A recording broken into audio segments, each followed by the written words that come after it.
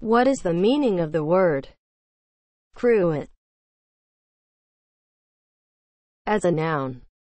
Bottle that holds wine or oil or vinegar for the table. Cruet is spelled C-R-U-E-T. Cruet.